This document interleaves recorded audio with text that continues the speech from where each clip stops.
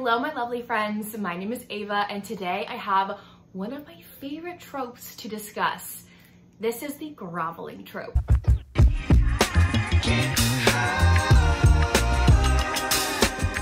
I have 10 romance recommendations for you that are chocked full of groveling, whether it be multiple scenes or one giant scene. More of them are more one giant scene of groveling, but all 10 of these books, I love the groveling scene. And a groveling scene has to like really work for me to for me to love it. So that's saying a lot with all these books. If you don't know what groveling means, it means like you're begging for forgiveness. You go and do the biggest grand gesture ever to apologize or say you were wrong to someone. Like, oh, groveling. It's like seeing a man on his knees because he knew he was wrong. Like, Yes. So one of my recent reads that has groveling in it is Twisted Love by Ana Huang. People have really marketed this book based off of the groveling scene in here. This is a brother's best friend romance that is very protective-ish. He feels very protective over the heroine named Ava. So um, they're also neighbors at this point. So yeah, Ava's not very happy to figure out that her brother has tasked his best friend to watch over Ava while her brother's like out of the country. She's not very happy about it. She's 22. She doesn't think she needs a babysitter or someone to watch over her. So she makes it a goal to kind of get under his skin because he's very stoic and grumpy and gruff. So um, her, her goal is just like poke the bear and see what happens. Someone in this relationship, when they finally get together, is holding or keeping a large secret. And when the other person finds out, they feel very betrayed and one of the other people has to grovel their booty off. So I really love that groveling scene. Another groveling romance that I have to mention is Ever After Always by Chloe Liese. This is book number three, a part of the Bergman Brothers series. Freya in here is our Bergman sister, and she has been married to Aiden for quite a few years, and they're really wanting to start a family, but Freya has doubts now because Aiden isn't really prioritizing their relationship anymore. He spends a lot of time at work and not a lot of time at home. So she basically gives him an ultimatum, like figure your crap out or we're done. And so Aiden is trying to figure out how to deal with his anxiety. He's a lot of anxiety and he's not really telling Freya. He's not communicating with her. Um, he's wanting to be at work and make the most money possible to provide an amazing future for their family because he did not get that growing up and so he wants to provide that for his kids, um, his future kids. Aiden ends up having to come to Jesus essentially about like, oh, he really messed up. And he goes to a lot of great lengths to have or convince Freya to bring him back into her heart. And um, yeah, I love Aiden. Look at how cute he looks on the cover.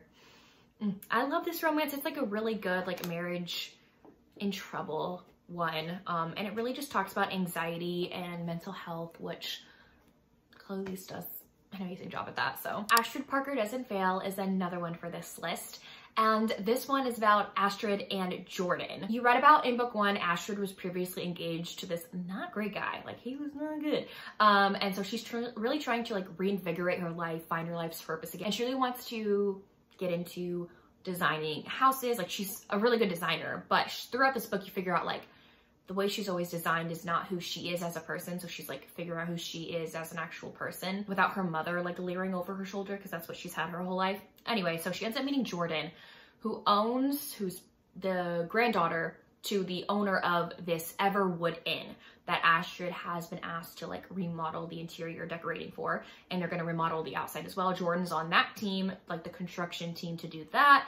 And this is very like animosity between the two of them at first um but then they end up falling for each other but it has to be a secret because like like it's kind of forbidden. Like they work together they're filming the process of the rebuild and like they show on camera like they, they hate each other but in reality they're doing some stuff behind the scenes. So yeah someone in this relationship kind of betrays a person in a sense emotionally and the other one has to grovel. That groveling scene was so sweet. Like I loved that one. Breaking the Bully by Jessa Kane is a novella that falls into this category. As you get with any Jessa Kane book, this is a little bit unhinged. So this one's about um, Allie and Moore. So they were in high school together. They are in high school together and Moore has always had this huge crush on Allie and Allie's always had a huge crush on Moore as well. Um, and they've kind of like been crushing on each other, but Then one day out of the blue, Allie stops talking to him, just like has no emotion around him anymore, ignores him, pretends he doesn't exist. And Moore is so upset. He doesn't see the girl he like fell in love with anymore. And so to get any emotion out of her whatsoever, like he decides to bully her. He thinks that poking at her will wake a bear of sorts and um, will bring his Allie back to him. In reality, Allie's father figured out that um, Mor when her were like getting together or almost about to get together and he is mad. He's a very controlling father, very abusive and is like, if you don't cut things off with him, I'll basically kill him.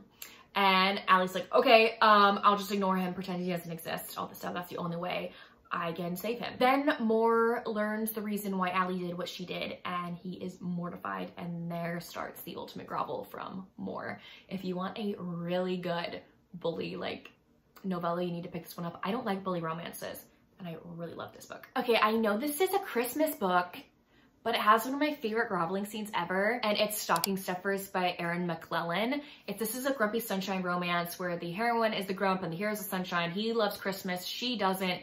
She ends up getting stuck at the inn that his sister owns, and they have like a grand old time together for a few days while they're stuck in the snowstorm in the inn. And he really wants to pursue things after the snowstorm is done, and she's just like, broody, has a lot of past trauma, not trauma, yeah, trauma, this, this past relationship traumatized her. Um, and so she's just like, I don't do relationships. I don't do that. And then she's realizing like, oh, every person is different. Just because this man hurt me doesn't mean a new man will hurt me as well. Like that doesn't mean that. So um, she's trying to figure that out. So in this one, you have the heroine who grovels, which is quite unique compared to some of the other books that we get. For a monster romance, I have Deceiving the Gargoyles by Lillian Lark. Our heroine here is a witch and she goes to a matchmaker to match her up with her soulmate essentially. She ends up getting matched with this guy. She's very into him. But what she doesn't know is that here he already has two mates at home and he wants her to join them and for them to be like all four together. And three of the guys are gargoyles. So this is fun, fun read. I'm not to talk about the groveling scene because I don't want to spoil anything, but there is a really good groveling scene in here with one of the characters. So I'm just to drop that there for y'all. For Alien Romance, I have Claimed by the Horde King by Zoe Draven. This is book number two in the Horde Kings of Dakkar series. The grovel in here, I feel like is the whole stinking book. so this book takes place on the planet Dakkar um, with these like Dothraki-esque aliens living there. Um, they're native to the planet and humans have inhabited the planet in certain camps but they have to follow the Dakkar rules. One of them is you cannot hunt animals on this planet. Like humans are not allowed to do that. Um, but the heroine is literally skin and bones starving. And so she kills an animal. She has to eat something. And um, the hero, who's a Horde King, ends up, ends up figuring out that she's doing this and ends up telling her she has to pay for her crimes. And the price for that for a human is either die or have lashings, you know, like get whipped. And so he has to whip her and afterward he's like he's sick to his stomach that he has to do that but that's the only way to save this woman because all of his other men saw her kill this animal and they're like we have to kill her we have to kill her but he's very very interested in this woman very intrigued by her has this pull towards her and he realizes the only way he can save her is to whip her that's the only way and he brings her back to his horde and um, he spends the whole entire book groveling for doing that to her like oh this book has a lot going on but the heroes grovel.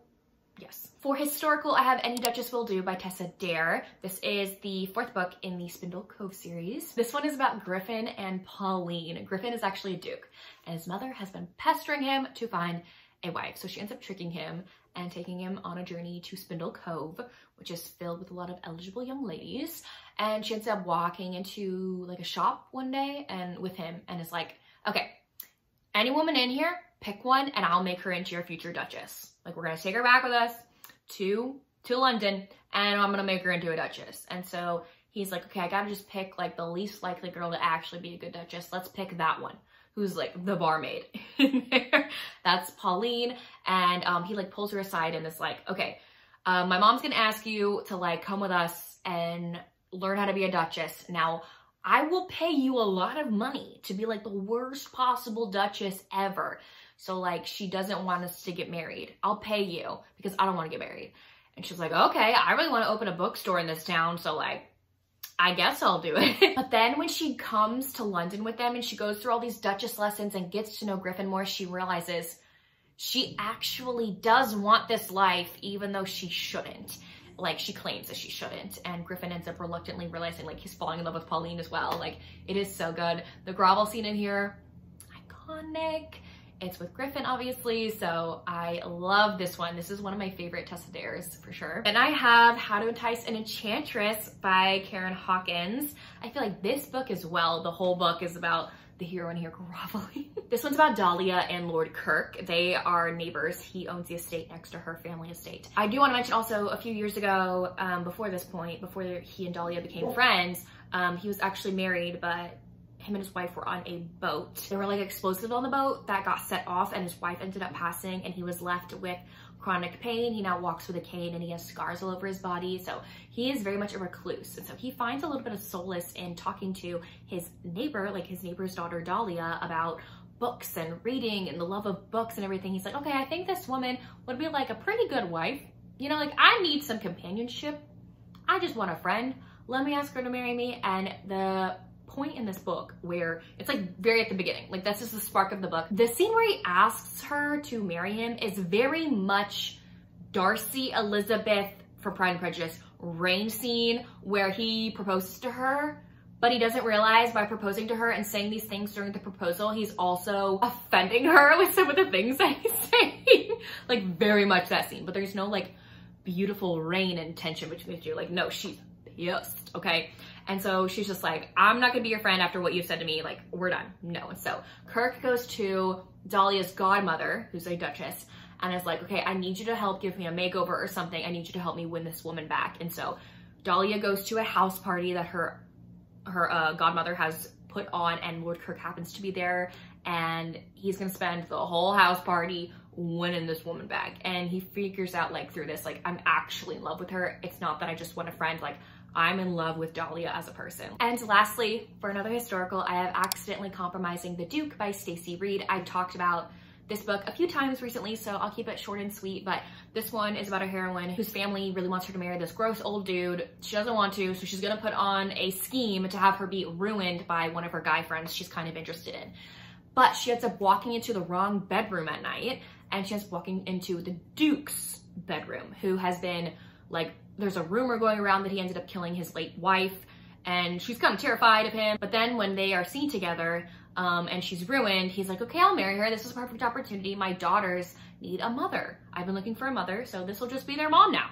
Um, so this is about their romance. He's very closed off because of what happened to his wife. He did not kill his wife, by the way, um, but something did happen. And the groveling in here was great. I just want to mention that. I don't want to talk about the scene in which he has to grovel because like, that would be a spoiler, so. But overall, a great historical romance read. You cannot go wrong with a Stacy Reid. Anyways, there you have it. Those are 10 romance books with the groveling trope. Let me know down below if you've read any of these books or if you plan to, and be sure to please leave your recommendations in the comment section down below.